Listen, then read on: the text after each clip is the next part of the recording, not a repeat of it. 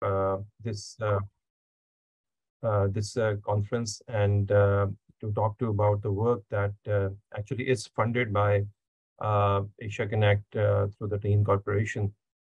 So, so this project we started um, about one and a half year ago, and the goal is uh, to develop a system which is cost effective and sustainable uh, to monitor air quality.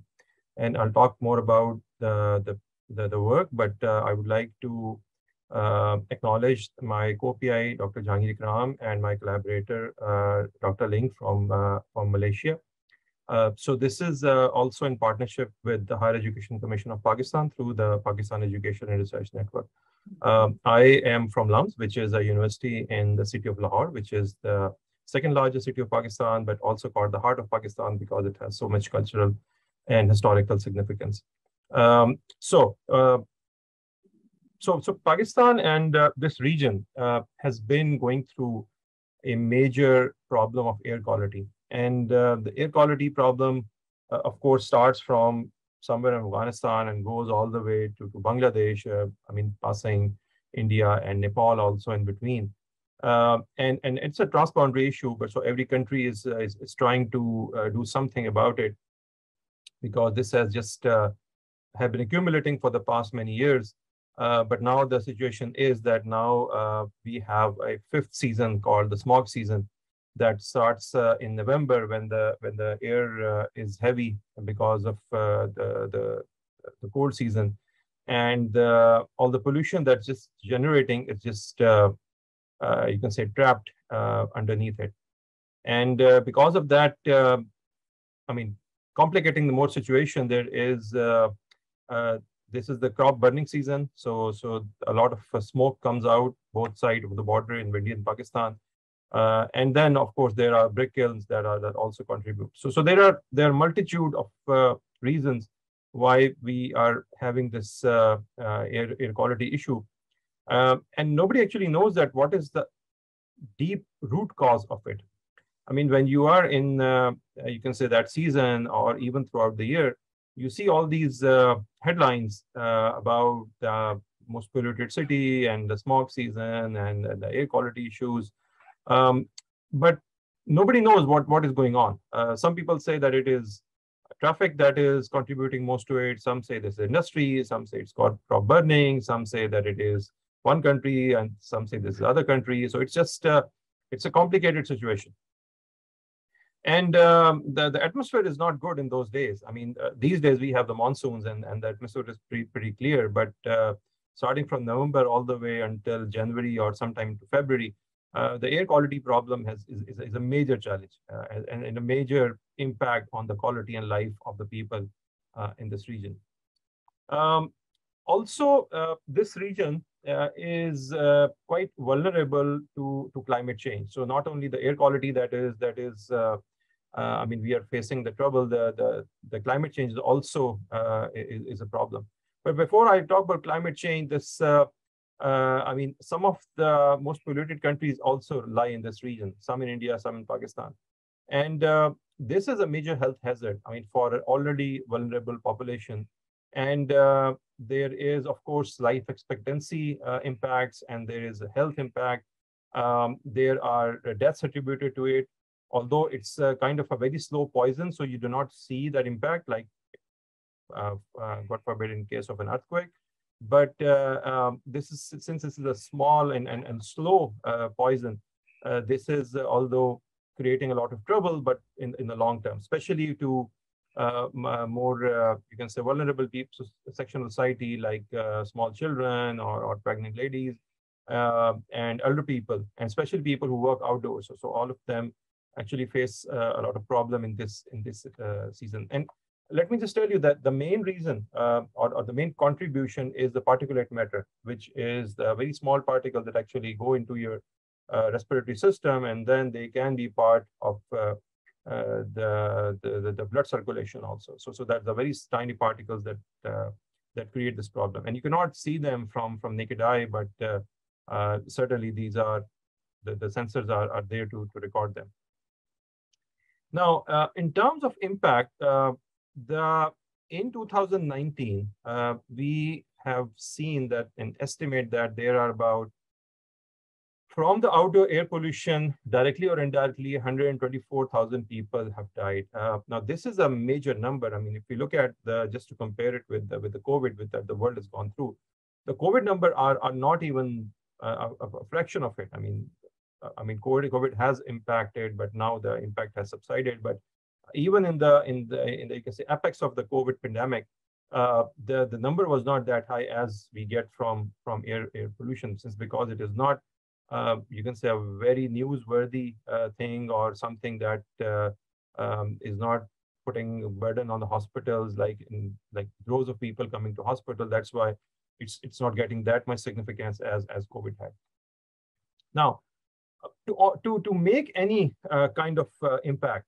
make any kind of you can say intervention for the improving air quality you first need uh, the air quality monitoring, the data that is coming from it to see that which are, what are the sources, what are the areas, what are the seasons, what is the constituent. There is a, a source apportionment uh, studies of uh, what uh, sources are uh, creating what kind of uh, air quality challenges. And um, this is, of course, a, a, challenge because without this data, uh, we can be just uh, consider ourselves as a blind surgeon on an operating table. I mean, the government can do this or that, but nobody really knows that what is uh, the impact of that because you do not have the data beforehand and you do not have the data afterwards. Uh, the only data monitoring that we have are few uh, stations that are uh, installed by the government, but those are those are challenges because the number is very low plus they have uh, maintenance issues uh, all the time. So what people have done uh, in the past few years is that they have, you can say, community-based monitoring has started. so for example, this IQ Air is and Purple Air, there are two um, two organizations that provide these sensors and people have voluntarily installed these sensors on private buildings like universities or even their uh, on their on their houses and there are about 20 or 30 of them. That's the best source of, uh, you can say, air quality monitoring uh, that, that we are getting at this point, other than the few government grade sensors. Now, uh, our first project that we did in the real-time spatial, uh, and, the, and the title was real-time spatial temporal emission mapping, and that ran from last year, from January to December. And the goal is that to solve the challenge of spatio-temporal uh, monitoring, um, sorry, solve the challenge of air quality monitoring, we should be doing something out of the box because, I mean, whatever we do, probably the country cannot have 700 monitoring station that needs to be installed because that's the number that experts say that that should be needed of a country of size Pakistan and population density. Uh, so the goal was to develop a real-time system uh, which uh, not only tell us about the, uh, the, the impact, the air quality numbers, but it, it uh, plans to do it in, in slightly different way. And I'll, I'll tell you that in, in a second. Um, and then, of course, the main goal was to, to get the data so that we can help the government to do some kind of interventions. Um, what the idea was to divide the city in form of a grid, uh, in form of a grid where every grid uh, box is has some sort of uh, uh, you can say identification that we associate to. And then we install uh, the air quality sensors on top of vehicles. And when the vehicles move, the vehicle will of course be in one of those that the, the box in the grid. And whatever reading it is giving out uh, that reading will be stored and uh, at a website and we assume that, okay, for that box, we have the that kind of uh, air quality or uh, uh, whatever the number of PM and, and SOx and NOx are. Now, the idea was to install it on multiple vehicles. So when the vehicles move and uh, the readings come out and they come pretty frequently after every half a minute or so, we just record that and, and in the end, we have the most of this grid filled out with information that when that vehicle passed, what is the air quality numbers uh, at, at that time. Now, uh, and, and again, the, the, the goal was to have it uh, on public vehicles like buses, uh, so that because buses run around all the time, and uh, we'll get data across space in the whole city and across time. So whenever the bus operating hours are.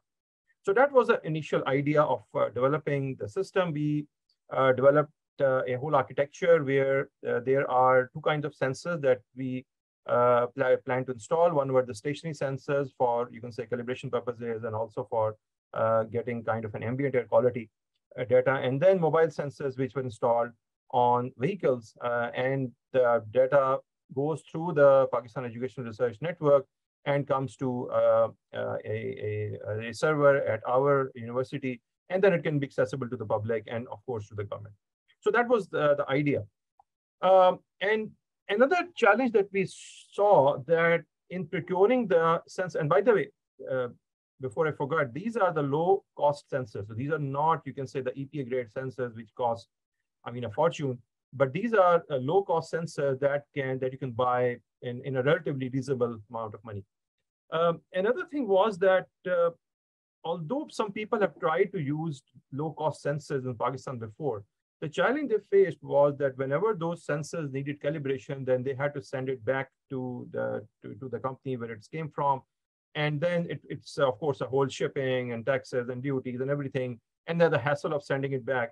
So, so we saw that mostly for these uh, sensors, the life is just whatever the life or until the first calibration, and then the sensor is just gone. Uh, on top of that, there are other mechanic uh, maintenance issues. Uh, some sensors may be faulty, some maybe have some over voltage, under voltage. So different kind of challenges that uh, that that that's with sensor face. So so what we try to do to uh, you can find out a vendor that can actually provide us these low cost sensors right here in the country. Fortunately, we, we got hold of a company. Uh, it's an IoT company based out of Karachi in Pakistan, and they developed this sensor. And the sensor that you see, it has three things. Uh, there's a box that has the, the sensor installed for measuring different uh, uh kind of pollutants. And then there is a battery and then the solar panel. So, so uh, even if, uh, so, so it has to be charged from the solar panel, but if the solar panel is not available, you have a fixed location, uh, we can get electricity from various uh, uh, sources to, to power up this thing. another thing what we did differently was that mostly the sensors from IQ Air and Purple Air monitor only the particulate matter, PM2.5 and PM10.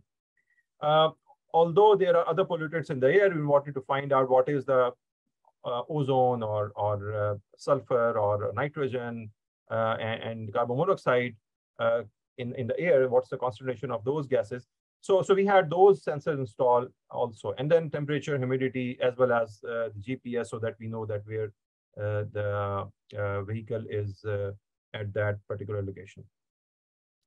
Uh, so we developed the whole uh, air quality monitoring platform. we call it airlens.com, and this supposedly is the you can say the one-stop shop for measuring all the data, all the the information there, whatever data is coming, one can see, one can download, uh, publicly available, uh, nothing, uh, no, no kind of any restriction. Um, and we use the US uh, EPA method for developing the air quality index. Um, and uh, this was, of course, uh, very nice. We had all the, you can support already and the, the, all the platform was ready to roll out. Um, but then something happened. and I'll tell you what happened, but first, uh, let's see what we did in terms of dividing the regions. So the Lahore city uh, had, has an area of 700 uh, square kilometers. And uh, administratively, it is divided into nine zones that are further divided into 274 union councils. Uh, of course, this is a very, uh, you can say, densely populated city. Um, and initially, what we thought that we will just divide it into this grid but then the idea uh, because the grid is not a natural, uh, you can say, um, uh, natural geography of, of the city. So, so then we use these union councils and nine zones to come up with 40 different uh, regions of the city, uh, not based on a square, but based on the, the, you can say the boundaries for the roads, for the population. And uh, there is a link uh, down here. I will share this presentation and you can go and, and uh, there is a detailed video of how we came up uh, of developing whole process of developing regions out of the city. It's based on population density, based on the geography of the, of the region, also based on some data about uh, the already uh, information about, uh, you can say, the air quality. Um, we faced some challenges uh, in the implementation. And the challenges was that, uh, I mean, probably we were naive at the time when we when we started this project that ambient air quality and on-road emissions are two different things. Ambient air quality is where you have the air, you can say, away from any kind of source of, of any kind of pollution uh, say you cannot just put it next to an industry or next to a road. It should be somewhere where where you can say you see the the the, the natural air of the city. And uh, the problem on the road emission is that it is about 30% higher, uh, typically 30% higher, depending on the rush on the road. So if the road is very busy, uh, the number could be 30% higher. But let's say if you go there at night when there is virtually no traffic, uh, there there is there are not uh, not, not much difference from the ambient air quality. Another problem we faced that we started uh, working on, um, uh, initially we thought that we will put it on buses, uh, but buses have had two problems. Uh, but the first problem is that they are all fossil fuel. Unfortunately, we do not have electric buses yet in the city, although uh, the government is planning to procure them, but currently we don't have them. So once the, you have installed the sensors on the buses, their own uh, emissions from the buses can actually can can can uh, disrupt the value. So so the value of even the on-road emission is not really uh, uh, uh measured because of uh, the, the, the emission of the bus. The second problem with uh, with the buses was that the buses run whenever there's passenger volume um, or whenever there is reasonable passenger volume, from 5 a.m. to maybe 12 and then those five hours in between there, there's no bus that run on that particular route and then of course there are holidays there are uh, public holidays religious holidays when the buses uh, operate on a reduced uh, frequency um, and finally another problem uh, is that whenever uh, we have come across these uh, low cost sensors as i talked about earlier the sustainability of these low cost sensors has always been a challenge uh, because uh, some NGO, some donor agency, some industry through this ESR funds can fund those sensors. But long-term calibration, long-term maintenance is, is already a, a, challenge. So, so we also thought that this challenge is, is, uh, is uh, going to create problems once the project lifetime ends. Uh, we were almost ready to install our sensors on whatever we have developed on the public buses, but then we got a surprise from the government, and that was back in November last year and uh, the surprise was that uh, the government, uh, because they were quite uh, annoyed by the bad publicity of, uh, you can say, the air quality sensors, privately installed air quality sensors, and of course, the blame is going on the government that they are not doing enough. and then basically what they said that you cannot share air quality readings. And if you do it, we are going to put a case on you and, and possibly put you in jail. And that was, of course, something that we cannot take it lightly. Uh, so we, you can say, just uh, withhold our idea of installing these uh, sensors on the buses. Uh, but of course, there are good people in the government. We we we went to them. We we explained to them what we are doing, and eventually, after a few months, we got some permission. Um, in the meanwhile, while this uh, all this uh, the negotiation with the government was going on, what we did was that we at least installed the sensors on uh, uh stationary locations. So we decided on based on our own uh, criteria of where the sensor should be installed. What are the key locations where the uh, sensor should be installed, where it can safe, safe, secure, can provide us a good glimpse of what the values are that are coming from the city. Um, and then we, of course, uh, uh, uh I am not going to go into detail of how we divided the regions, but we had a whole algorithm or, or methodology of dividing the regions for the stationary sensors. Um, so these are some of the, the pictures from the different sensors we installed. We tried to go towards uh, more private uh, locations because uh, we didn't want to, I mean, because we were having trouble with the government already. So we just installed it, one uh, installed just outside uh, the building where I'm sitting, if you see on the left-hand side, and then another one uh, near a parking lot uh, uh, in the close to where I'm sitting. And then eight of them uh, around the city, and, and the locations are all recorded. so with the government came back to us and they said that, okay, you can do install your sensors for R&D purposes and you can share the data. But of course, you cannot have the government liable for this data because this is your own data and uh, this the government has uh, um, should not be held accountable for the data that you are collecting. Uh, the requirement that they posed on us is that you should go through the go through a co-location activity. And the co-location activity is that uh, there is a mobile van uh, which has the EPA grade sensors. So they said that whenever uh, you want to install your sensors, you have to co-locate them uh, with the, the, the, EPA certified sensors on the van. And uh, once the co-location activity is complete and we are satisfied with the, the, the quality of the data, that it's not uh, too much different from what the uh, the, the, the, the EPA certified sensors are going, the, the, you can say the error margin is less, then will allow you to have uh, this. And, and meanwhile, other entities like World Bank also joined because they also were installing uh, some sensors. So, so we did a whole activity um, uh, earlier this year. And uh, if you see on the left-hand side, all these sensors are on top of this van that you see on the right-hand side. And this is me and my team lead, Josefa, standing uh, next to the van. So, so we did this co-location activity for about a week. And then the sensors were ready to be installed. Meanwhile, what happened was that Asia Connect uh, gave us a second round of uh, grant money.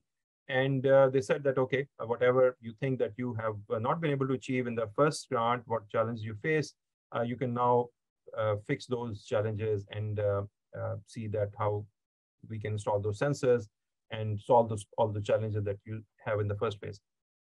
Now, um, in this one, we did something different. And, and the something different was that rather than using buses, uh, we have another project going on at our university of electric three-wheelers.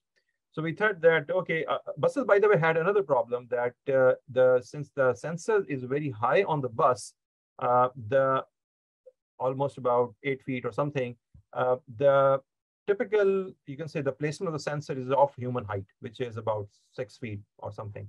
Um, so with three wheelers, we actually got to that height of uh, six feet and, and, and installed our sensor. And since there are electric vehicles, uh, there is no, uh, you can say the, the, the, value is going to be measured off around in the, uh, whatever the atmosphere is or whether it's on road and, or ambient. Now, uh, this is one of the vehicle where uh, we, we started installing our sensors. Now we are in the, you can say, process of procurement, procuring this vehicle we have one vehicle ready that is now undergoing testing of where the sensor should be installed because we have a battery and we have a, solar panel and then the sensors have to be installed in the right place so that uh, it can get the, the sufficient air to, to monitor air quality. Uh, then we did another thing, and that's very interesting. Uh, we said that rather than having um, random routes of buses, now this is these three wheelers are kind of at our control, at least for the duration of the project, and then we can develop uh, a sustainable modeler of our own. What we did was that in the left, on the left side, you see the bus routes that we were planning. So, so buses come around and then they follow a certain route, and then they go from one part of the city to the other, and then they come back, and the, I mean, they just follow all that route. All that route is typically on major highways or, or major roads, which, which are typically have more passenger traffic and more uh, vehicles. Uh, as a result, it has a lot of uh, on-road emissions. So we thought that rather than using the buses, why don't we provide the last mile connectivity through these vehicles, through these three-wheelers? So if you see, this is the same map from the same vicinity. Uh, on the left-hand side are the two bus routes that may crisscross each other. On the right-hand side is the last mile connectivity from different bus stops. So, so the bus stop uh, passenger drop the passenger got off from, from buses and then they go into an R three-wheeler and the three-wheeler follow a certain fixed route. But there are two advantages to that fixed route. One is that it is going through neighborhoods that typically have less uh, on-road emissions because of less traffic density. In fact, some of them have very, so low density that you can be very, very close to ambient air quality.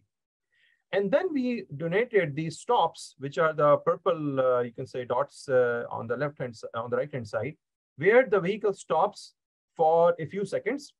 And the sensors automatically, since they are re uh, reading this for every 15 second or something, and then they get the reading for a stationary location.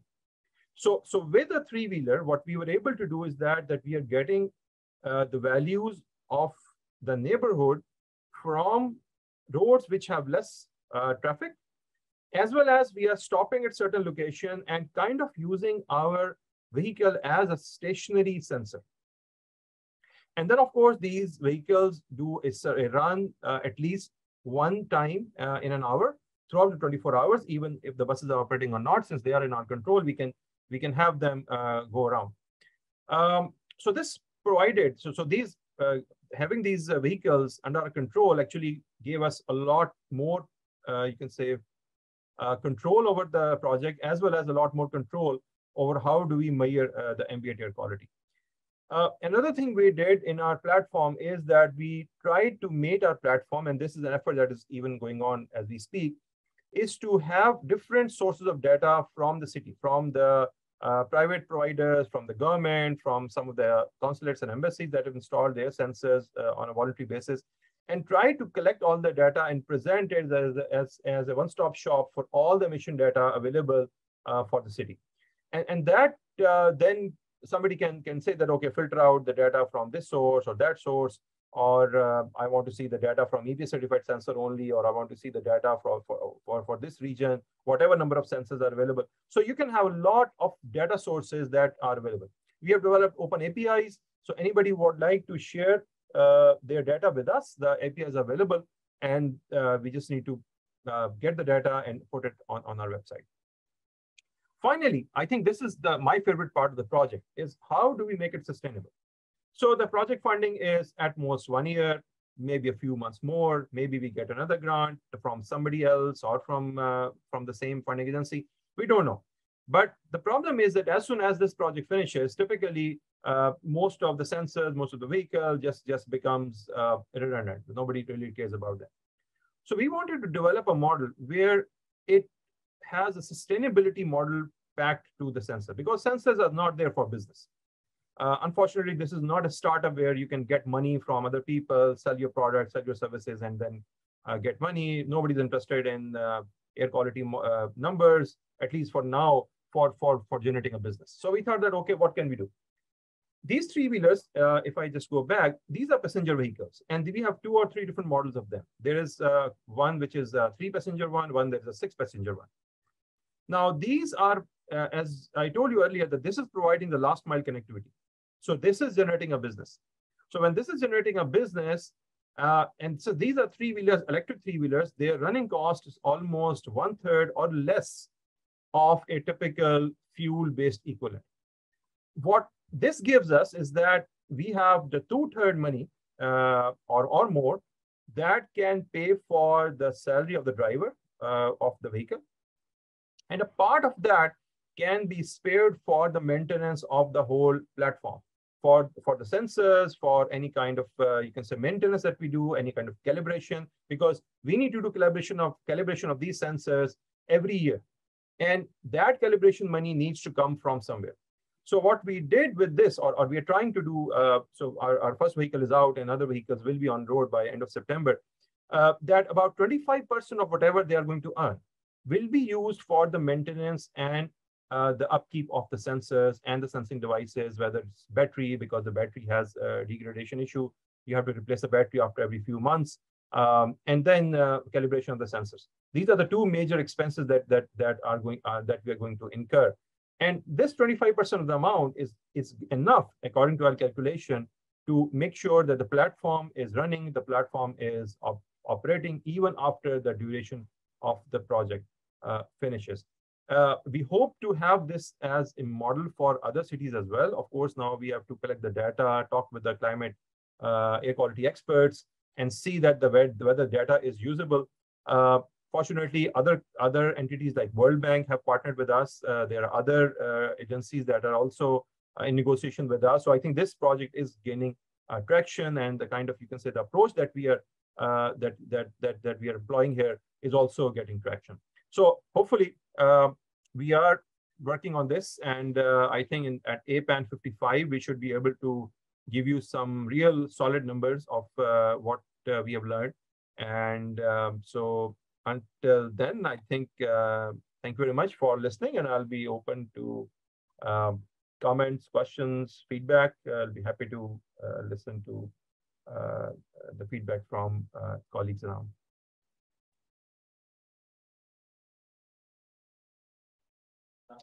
Wow, that was um, really interesting, uh, Naveed. And uh, yes, it's, it's different and than your your previous talk. It's an improvement.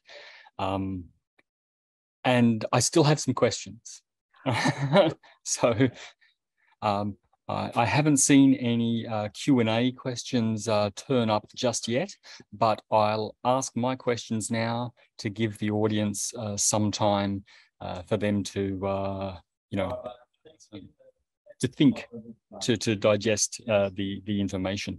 And so um, I think I had this problem before. The, the last mile connectivity is actually not, it's not a connectivity, it's actually making um, uh, the final journey, isn't it, from the from the bus stop to the person's home? So that that confused me a little bit. But talking about connectivity, how did you actually get uh, uh, the data out of these sensors? Do they do they talk Wi-Fi when they're near a hotspot, or do they have a, a cellular uh, uplink?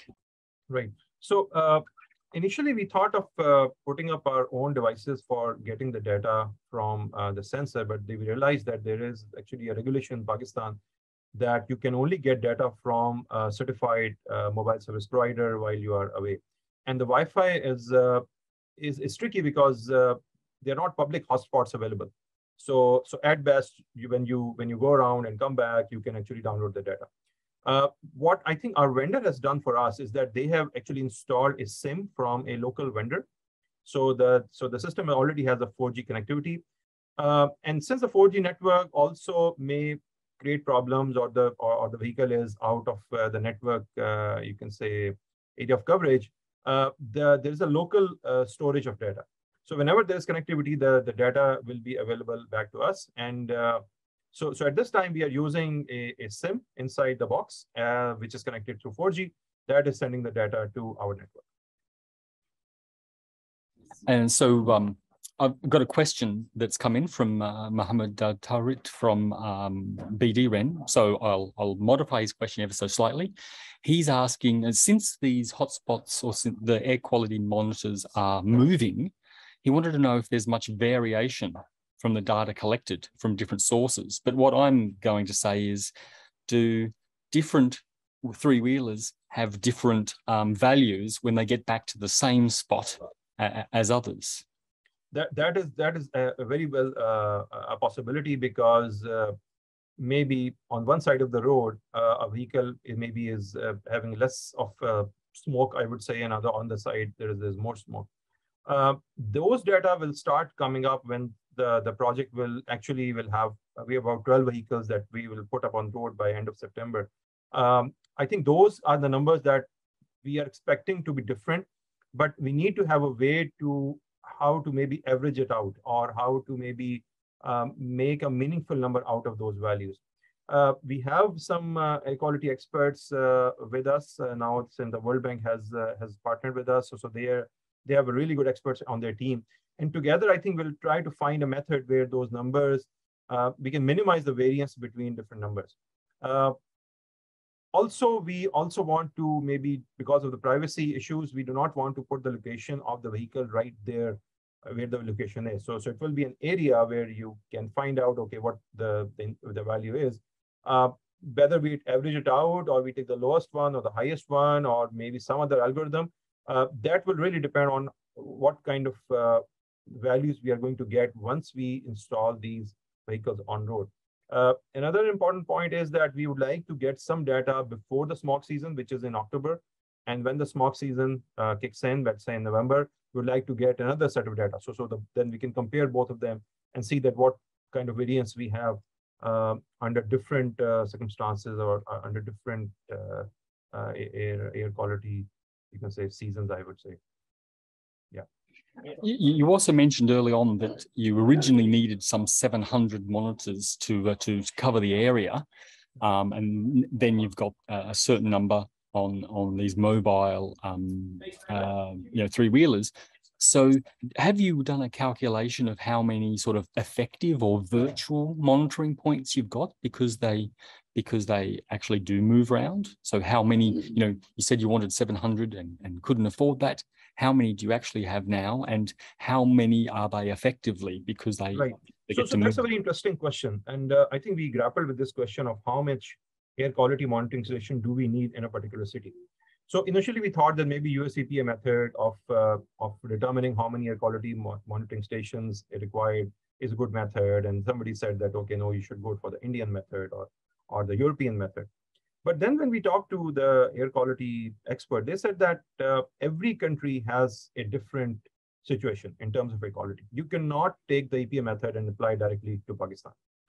Uh, with this project, I think what also we are going to get is some kind of information of how is what's the variance in the uh, air quality monitoring amongst different parts of the city and that will determine that how many monitoring uh, ideally mo ideal number of monitoring stations are we going to get since this is a small project or you can say just a pilot we'll have 12 vehicles maybe eight of them or nine of them will be on road at, at a given time we have just selected an area of uh, the city that's uh, i would say about 20, 25 square kilometer.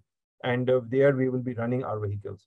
Um, so, so this is a, you can say this is a more affluent neighborhood uh, and this is not covering, uh, this is not, this is kind of a private area. Um, and uh, this uh, probably will give us more control and also an idea of if we want to expand to the whole city, whether we need 700 virtual points or we need even more or less, that, that probably number will come once we start getting the data and, and, and find out about the variance. And you you made a, a call for accepting uh, data feeds from other people. Are they other data feeds in Lahore? Are they other data feeds in Pakistan, or or are they extended right. to the to so the region? Starting with Lahore, uh, and then of course uh, when the platform will expand, because once uh, it, it is uh, it is uh, good for Lahore, it is good for any other city.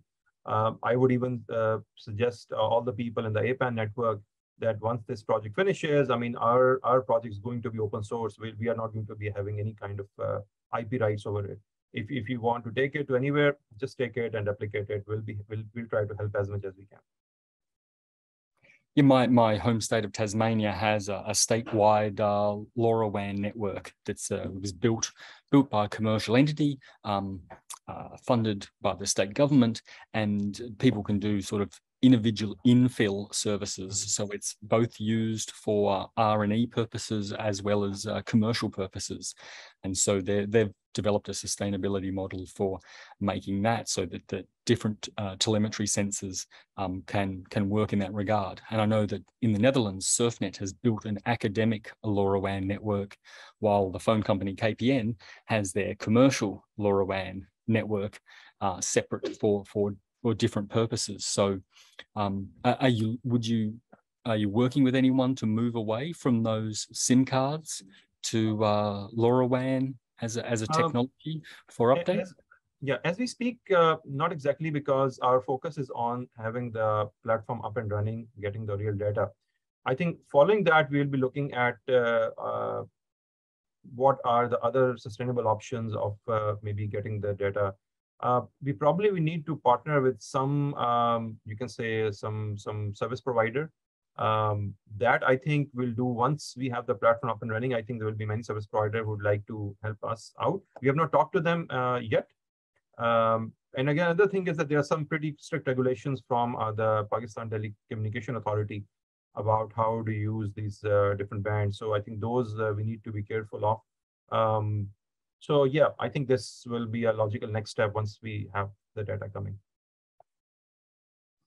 And uh, yeah, it's interesting. Uh, apparently, in my home state, it's uh, it's a it's a government requirement to do a, a state of the environment report. I think it's supposed to come out every five years, but it hasn't come out for the past 13 years. So sometimes, even in places that uh, espouse being green, um, eh, we produce 100% of our electricity through hydroelectricity, but uh, um, still our government doesn't want to release an environmental report that may shed some negative light into some areas of our uh, forestry or fishery practices. So it's interesting. I think um, just in concluding, I think that you know NREN's provide a public good. People, um, you know, there's certain things that NRENs have to do for the security or the quality of their network that they can't directly monetize. And I think that your project is incredibly innovative, not, not just, not in collecting air quality data, but actually trying to find a, a business model that will work with electric uh, three-wheelers uh, and I hope that you know maybe the government can do something on the road tax or registration requirements to further lower that for vehicles that you know have these sensors fitted, so that you don't just have uh, yeah. So so there's an incentive for for the, these drivers of these three wheelers to want to have air quality yeah. sensors. So uh, I think on, on that front, I think government has done some some remarkable steps. They have actually reduced the registration cost of any kind of electric vehicle to, I mean, just five percent of the normal amount. So that's virtually free. And then the road tax is also 75% less. So, so I think that's that's a good, uh, uh, uh, you can say, incentive for the people to own the electric vehicles. So I think that's already there. We just need to now have some sensors and make a sustainable model out of it. Um, well, Dr. Naveed Arshad, I'm really sorry that you cannot hear an applause from the audience, right? Um, it was a great talk and, uh, and I'm sure there's a lot of uh, interest from the wider community. Um, everyone can try and find you on, on Whova or get in touch with uh, APAN Secretariat or myself and uh, we can put you in touch. But we will be looking forward to uh, I think you said you were going to provide an update at uh, APAN 55 in Nepal. Certainly, certainly. I, would love to provide an update because with the, with the, with more visuals and the more data, uh, and I'll be, uh, I mean, my team will be happy to collaborate with other colleagues in the region and and any anywhere um, uh, on the, these kind of projects, and we'll be very open to collaboration. My my contact details are here. You can contact me through any any medium you prefer that's uh, that's great. There's also an Internet of Things uh, um, uh, working group within APAN. I'm not too sure if they're. Uh, I, I was unable to attend their session, so I don't know if they're dealing with just the technology or the practical applications of of using sensors. Um, but yeah, hopefully uh, we'll see an update within that within that fora or uh, or, or, or on the big stage um, when we uh, finally get to meet in, in Nepal. So uh, thank you very much for your time. Thank you very um, much. Our, our next speaker, um, Dr. Tomohiko uh, Moriyama, uh, his talk on telemedicine before, during, and beyond the pandemic. Um, I think, uh, well, everyone here has uh, survived the pandemic right? But that's not uh, the case for all members of the APAN community or the extended family. They haven't necessarily been as uh, as fortunate, and so um, um, Dr. Uh, Moriyama, he's an expert in gastro gastrointestinal endoscopy. Um, as part of TEMDEC, so hopefully people know TEMDEC from the uh, telemedicine uh, group.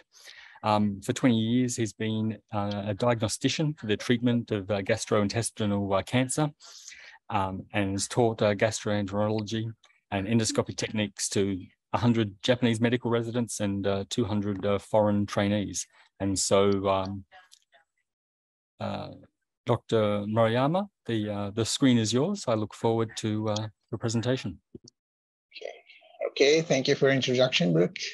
And I really appreciate all the uh, APAN Secretariat and the Brooks to giving me a, uh, to give me a, such kind of big opportunity to talk about our activity on telemedicine. So, okay.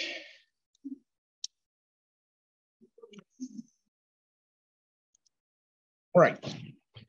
Hello, everyone. Uh, this is Dr. Tomohiko Moriyama from Kyushu University Hospital. I myself is, as I mentioned, from uh, Brook, uh, gastro GI endoscopist, and also a chair of APAN Medical Working Group.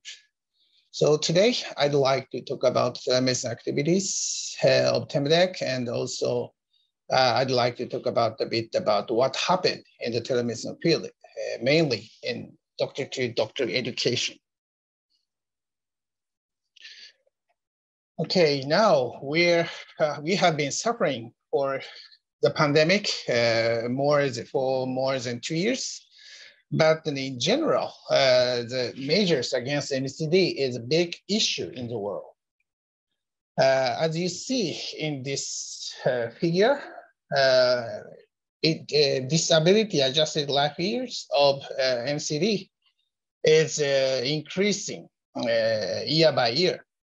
And this non-communicable disease, NCD, kills about you know, 41 million people each year which is equivalent to 31% of all deaths. So it is very important how to tackle with uh, non-communicable diseases NCD. But the measure against NCD is quite diverse in the world. Uh, this is a heat map of NCD-related mortality under the age of 70 as you see, in the developed countries, the mortality of in these premature ages is very low. But comparing, uh, but in the developing country, uh, this mortality ratio is quite high. So it's a very big issue and there should be a medical disparities in this area.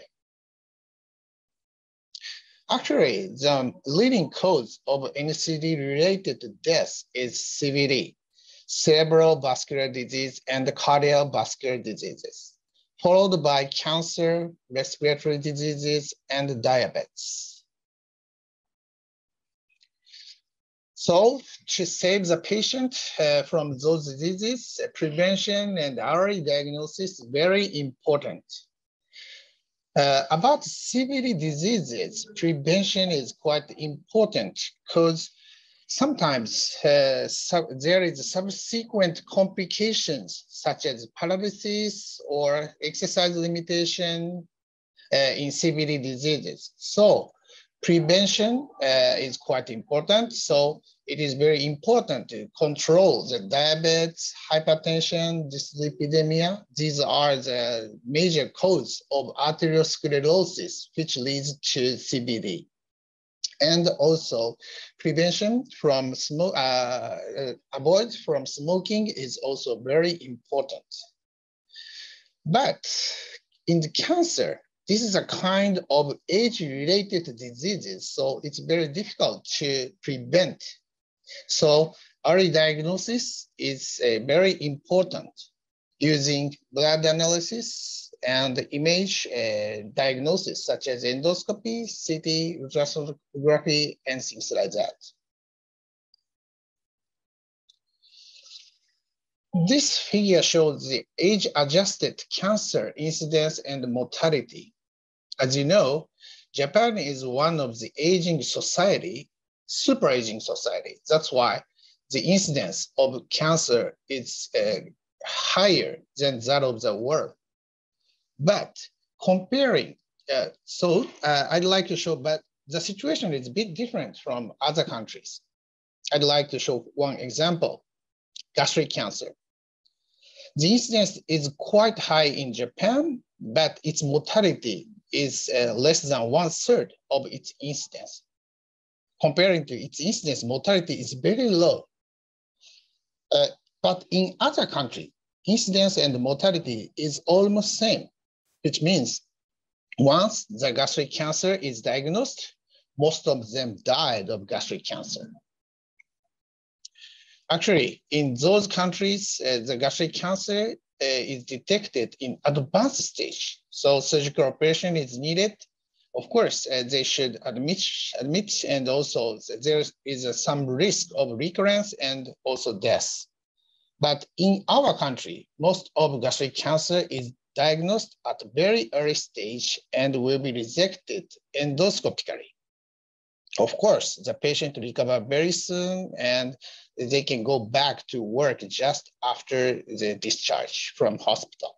So early diagnosis is very, very important to save their lives and also save their quality of life. So of course, there are so many uh, key factors uh, to get this kind of very, very good uh, results in this field. Uh, such as cheap health checkup system, uh, free access to healthcare providers, and something like that. But most important thing is education. Uh, actually, there are so many medical associations in Japan and uh, they established a very well organized education system. So, and through this education system, we can share our knowledge and experience uh, among doctors. So we can uh, achieve early diagnosis and minimal invasive therapy. That's why many uh, uh, foreign doctors uh, visit us to learn what we do, and also we share our knowledge and experiences through on-site training. And we sometimes go abroad to do some medical procedure and also do some live demo or something like that. This, as you know, of course, this kind of on-site training is quite effective, but uh, it's very short-term and also intermittent usually. And we should pay travel expenses and also accommodation fee is needed. And uh, the only limited number of doc doctors can share the knowledge through on-site training. That's why we started telemedicine activities connecting many institutions like that. But for medical education, high quality images are essential. In these six photos in the stomach, there is a gastric cancer. Can you detect it? These are the early gastric cancer and almost of them, uh, all of this lesion were resected endoscopically. Uh, we, if we can't detect such kind of subtle changes in the stomach, we can't uh, save the patient life. So to educate the doctors, it is very important to use this kind of high quality of images.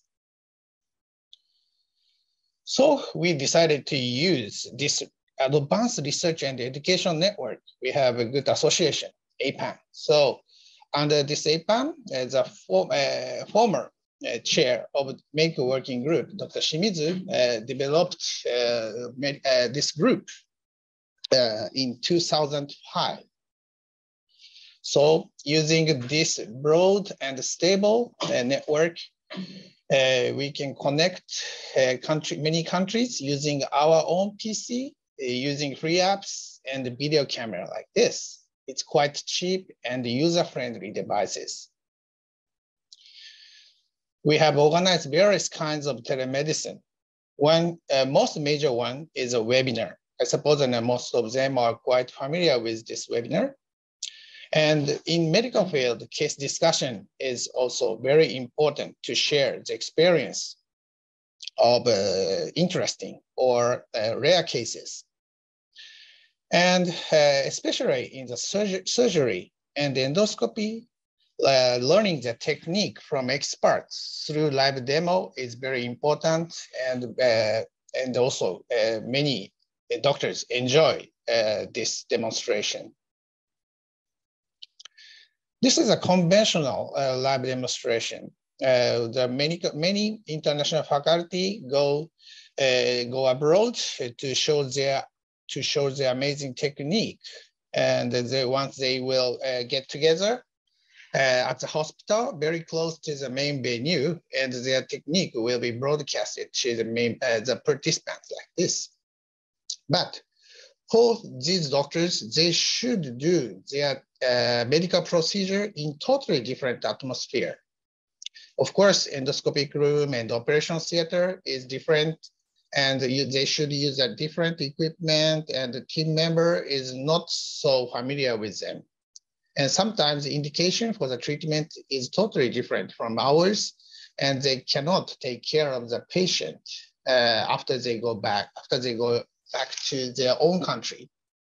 And sometimes we feel uh, some language barriers and jet lag is a big issue for uh, the demonstrator. And uh, for the uh, organizers, they should prepare lots of patients. It's sometimes very trouble. So uh, we connect uh, Asian institutes uh, using the uh, Research and Education Network. This live endoscopy was performed at APAN 24. At that time, endoscopic procedure was shown from Kyoto, Japan, and Fukuoka, and broadcasted to the China, Korea, Taiwan, Thailand, uh, Malaysia, and Germany. To do such kind of uh, big uh, event, there should be a, uh, uh, sorry, uh, okay, through this kind of event, we have accelerated telemedicine activities. And th these are the keys for the success of telemedicine. One is needs from doctors. Without any needs, we no telemedicine. Uh, second is the internet as access. Uh, we can use a research and education network for the live demo and also for other kind of webinar, the case discussion. And other important thing is skills by engineers. So uh, the, uh, the so uh, co-working with engineers and medical staff is uh, essential to uh, make telemedicine successful. So we have trained many engineers using APAN network. This is a medical working programs in this APAN 54 meeting. Like this, uh, we organize uh, 12 uh, meeting uh, in uh, this APAN. So, uh, and like, like that, uh, we have organized many uh, programs in under the APAN Medical Working Group. And we have invited uh, many foreign engineers and also they joined to the APAN. And through this uh, on-the-job training at APAN, they can do a hands-on training at medical at many medical sessions like this. This is uh, Singapore uh, in 2018, New Zealand in uh, same uh, in 2018, and Korea in 2019, like this. And also we have invited many engineers to our center, Kyushu University Hospital, and we uh, lectures was given to them, and also hands-on training was performed uh, like this. And uh, our engineer uh, taught them how to connect the medical devices to the internet at the operation room and, uh, and endoscopy room. We have fostered leaders uh, in engineer, engineering field in each country. And also we have organized domestic workshops like this. Uh, actually, uh, we there is a very limited uh, opportunity to meet the doctor and the engineers. So uh, we have organized a domestic workshop to have the output uh, and doctors and the engineers get together and discuss how to accelerate telemedicine in their own countries. We have uh, conducted this workshop in Indonesia, Philippines, Vietnam, Nepal, Myanmar, Kyrgyzstan, Bhutan, Mexico, and Chile. So uh, through this kind of repetitive uh, workshops and education, uh, accumulated numbers of uh, telemedicine programs is steadily increasing. And now the special number of the special interest group is expanded to 40. And these are the contents of our telemedicine program. Like this, uh, very, we have various kinds of program. The leading one is endoscopy, followed by surgery, pediatrics, oncology, technology, healthcare, or something, and uh, something like that. It's, and in, as you know, the COVID-19 pandemic uh, has started uh, in, uh, in early uh, 2020. this is a quite new disease and no one know what happened and uh, in Southeastern Asian countries and no one knows what the virus uh, act and how to prevent uh, people from the infection. At that time, we remember the past experience at APAN 23. At that time, bird flu was a very uh, serious issue, especially in Asian countries. Uh, in about these diseases, Indonesia has a lot of experience. So uh, we organized this conference and share their knowledge and experiences among the uh, among participants. So based on this experience, we uh, conducted international teleconference on COVID-19 uh, at early 2020, uh, just the beginning of the pandemic.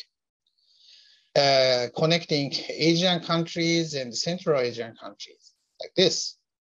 We have organized this conference uh, three times and actually more than 4,000 attendees uh, enjoyed and uh, our discussion and uh, through our the presentation. they, I suppose, they know and learn how to prevent their staff from COVID and also how to uh, prevent uh, the people from these diseases. And through this pandemic, teleconference systems are dramatically improved. Previously, we used a, little bit complicated system and a, bit expensive system. But uh, through the, uh, of course, we have uh, this kind of easier, cheaper, and convenient system for teleconferences, but its quality is not so good at that time. But through the pandemic, the quality of these uh, teleconference system is dramatically improved. And uh, due to the uh, moving restrictions and to share the knowledge and for the medical, for medical education for doctors and students, many countries started telemedicine. Uh, in 2020, we uh, conduct, uh, we organized a teleconference with Bhutan, Myanmar, and Central Asia and Caucasian countries like that. And even in Japan, uh, we can see a dramatic, dramatically increasing of web meetings.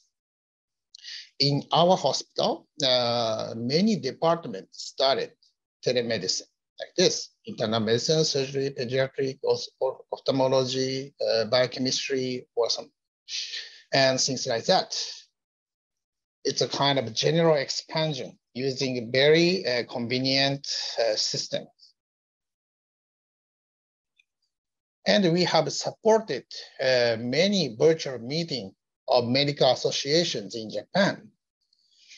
Uh, in 2020 uh, June, uh, this is a first uh, first time the support for the medical associ uh, association of Japan, uh, and successfully we success to support this teleconference, teleconference. Uh, and attendees were dramatically increased comparing to the last year's Congress. And also, and after that, we have supported many uh, congresses like that. And the participation styles was changed like this. Before the pandemic, many institutes joined our teleconference by groups like this. But after the pandemic, uh, the, uh, the attendees joined personally using their own PC, smartphone, or tablet.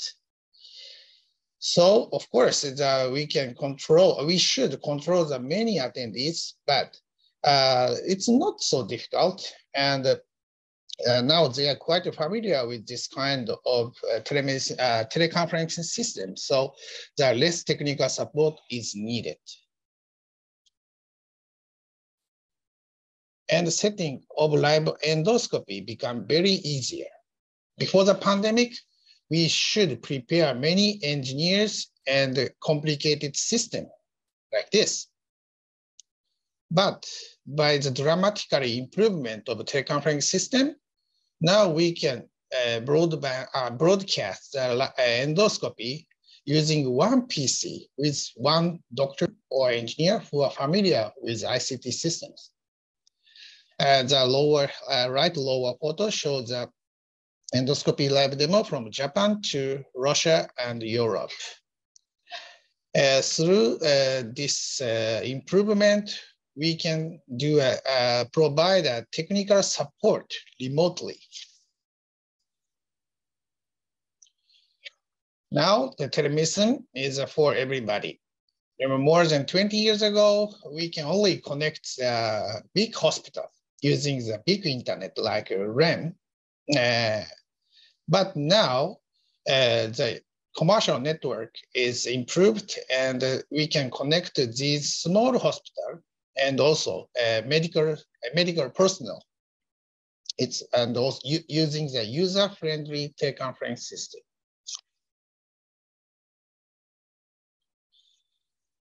Of course, the through these changes, uh, the uh, attendees, the number of attendees dramatically increased like this.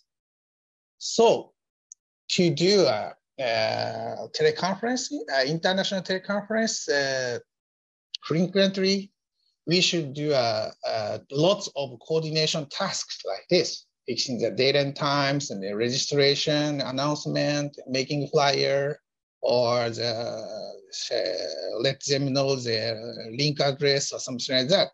It's very complicated.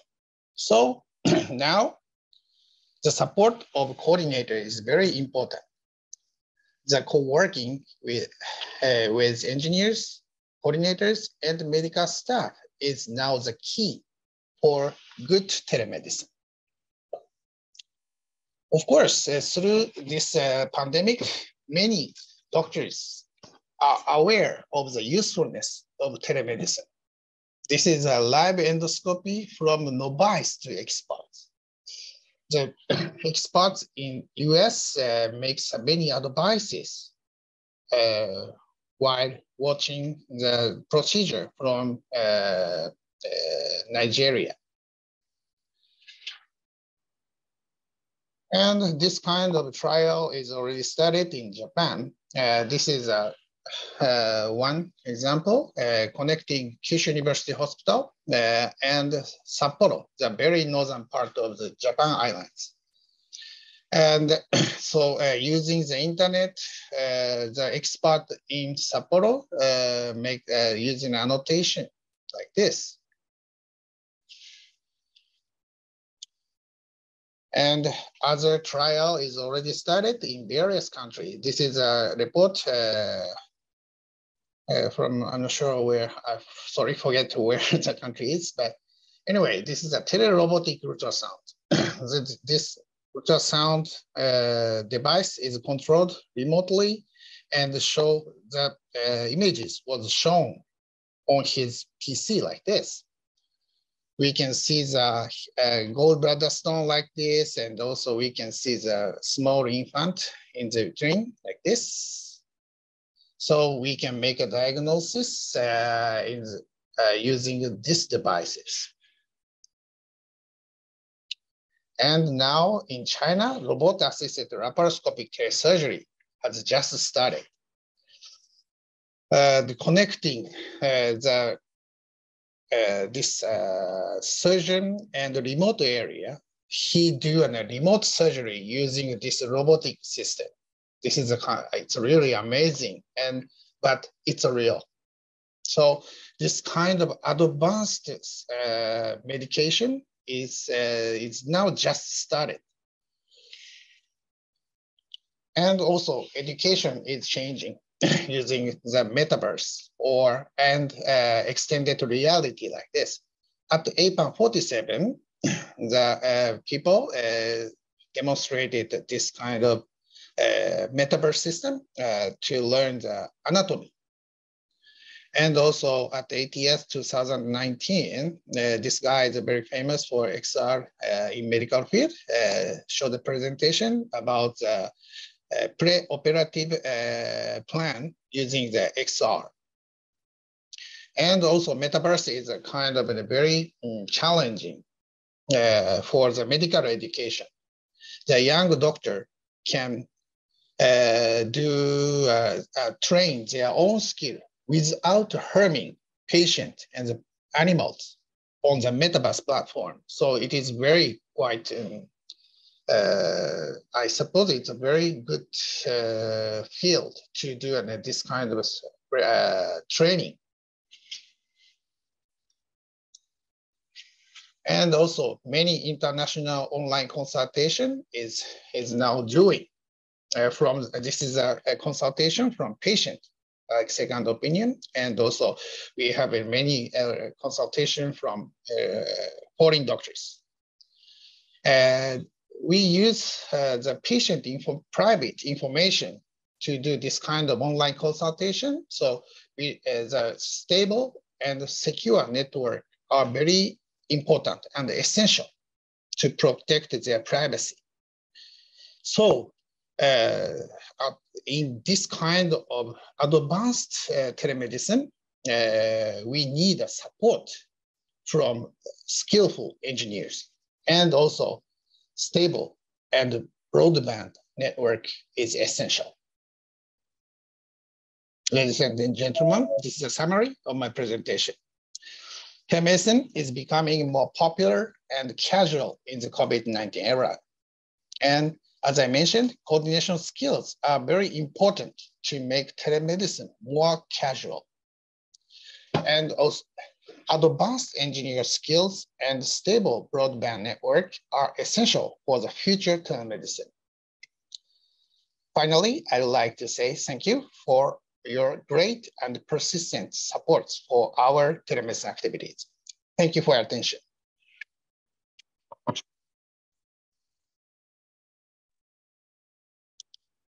Hi, thank you uh, very much, um, Dr. Moriyama. Um, we do, in fact, have some uh, some questions from the audience, and uh, and so I'll make you know cancer scares everyone. And at least by the time you've reached my age, you've had uh, family, friends, or colleagues that have been uh, touched by it or even uh, taken by it. Um, and so, a question from uh, Patch Lee. You had a, a, a, picture that had six pictures um, determining uh, cancer in one of your slides. Um, has there been much growth in the use of, of AI to be able to, you know, better help identify that uh, and assist experts that have to look at, you know, I think looking at slides, I think there was a big um, scandal uh, in, uh, I think, in uh, Ireland, where Ireland had outsourced the um, the checking of Pap smears that went to a, an organization in the US that did a very poor job of assessing them, um, and they didn't have, you know, uh, other AI techniques to assist people in having to look at, at, at lots of uh, slides. So, you know, has that has that changed, and, and is that work that appears within the uh, within TEMDEC? Okay, uh, actually, the TEMDEC is uh, just an uh, educational sector. So uh, not uh, we are not trying to do develop this kind, such kind of equipment or devices so far. But I myself is an endoscopist, so I have a bit of knowledge about on this field. The, as you may know, that AI is now the installing to the medical field, especially in the image diagnosis. The endoscopy is a good field for AI, actually. In CT and the MRI and, the, uh, and also ultrasound, we can review the images after the exam. But the, in endoscopy, we should make a diagnosis during the procedure. It's a totally different. So that's why AI is quite useful and already launched in colon, colonoscopy already and will be launched this year in about gastric cancer. I'm not sure uh, the, how it exercise, uh, how as a, uh, it's, uh, it's, they can definitely detect early cancer or not. But anyway, uh, already uh, some papers, article, uh, art, and articles mentioned that uh, its uh, sensitivity, is quite high. Of course, in the, the almost the same with the GI expert. So that's why I think the AI should be very uh, quite useful. But same as uh, AI driver, AI dri driving, uh, driving, uh, someone should be responsible for the results. So only the doctor can do it. That's why then, uh, I think that, that this kind of education is quite important. Okay, and so uh, a question that uh, Mohammed uh, had from BDREN, a lot of the telemedicine tools that you're talking about now just use the commodity internet. You know, you've gone from specific video conferencing services, you know, provided by Wide to now general purpose uh, tools like Zoom. So um, how does the R&E uh, networks still differentiate in the in the areas of telemedicine and and how how are they changing to remain relevant? Okay, thank you for this question. Uh, actually, uh, before the pandemic, uh, only REN uh, is a good infrastructure to do a telemedicine. Because then at that time, the commercial network is so narrow and the quality is not so good, actually. And also the teleconference system needs a very broadband.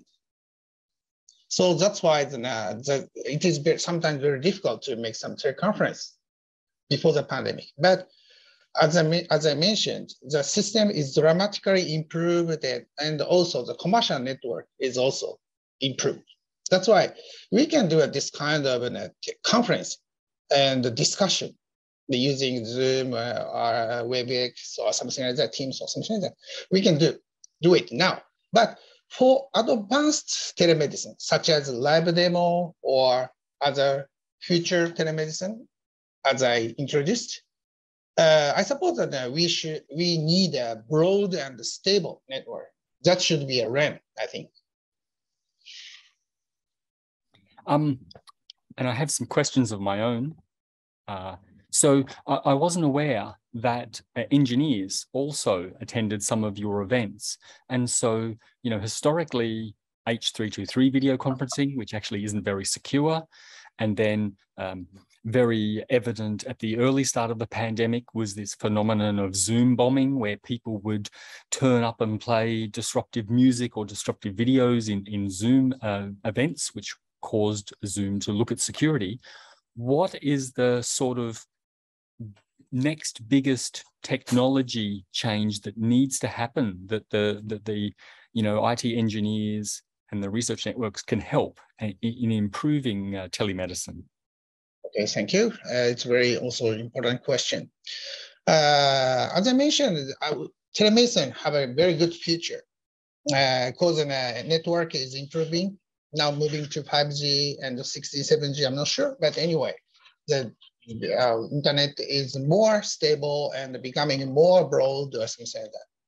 So that we can do uh, uh, some kind of medical procedure or remote patient care on the XR or metaverse or something like that. About uh, regarding metaverse, we are not satisfied actually. Uh, we can do nothing about medical procedure on the metaverse so far, I think. But uh, I'm not sure what happened in the next five years. So uh, at that time, of course, you know, we would like to work with engineers, and also we sh should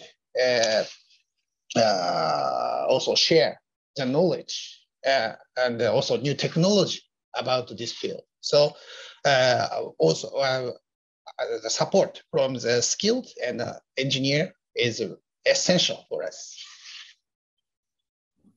Yeah, I, have had I've had the um, pleasure of going to see some of uh, Gunther von Hagens' uh, exhibitions, and this is the uh, this is the anatomist that developed plastination that dissolves the human body, and uh, and you have a, a version of the uh, the vascular system, for instance, or, or, or, very good representations of muscles. So that's like a, a pre-metaverse version of that.